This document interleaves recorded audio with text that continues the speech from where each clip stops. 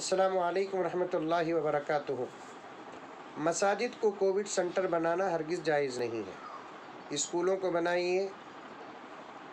अस्पतालों में और भी बहुत सारी जगह बाकी हैं, बहुत ज़्यादा जगह बाकी हैं।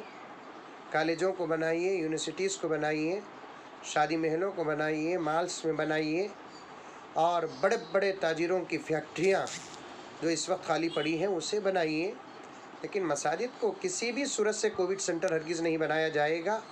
मसाजिद के ज़िम्मेदारों से गुजारिश करता हूँ, मोहल्ले के ज़िम्मेदारों से, नौजवानों से गुजारिश करता हूँ।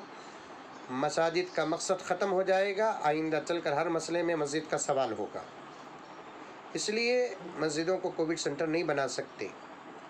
हाँ रहा मसला अगर मुल्क के कोई आलिम दीन अपनी राय पेश किए हैं तो उनकी अपनी राय है।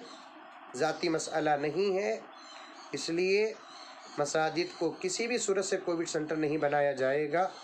अल्लाह तबारक व ताली हम तमाम को समझ की तोफ़ी अता फ़रमाए। अल्लाम वरहमल वर्का